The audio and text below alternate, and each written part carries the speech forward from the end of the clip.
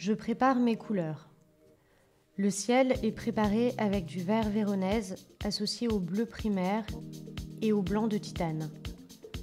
Pour la plage, je mélange de l'ocre rose avec du vert véronèse et une pointe de blanc. Je réalise mon fond coloré en créant des jeux de dégradés en partant du haut depuis un ton vert d'eau, en passant par une couleur vert chrome, puis un ton sable en bas pour le sable de la plage. Je crée mon mélange de sable coloré en ajoutant à ma couleur le gel d'incrustation de matière avec du sable fin. Je malaxe bien le tout au couteau à peindre pour obtenir une pâte homogène. J'applique le mélange au couteau directement sur la toile pour figurer la plage au premier plan. J'ajoute à mon mélange des gros grains de sable que j'applique en bas du tableau pour apporter un relief au premier plan.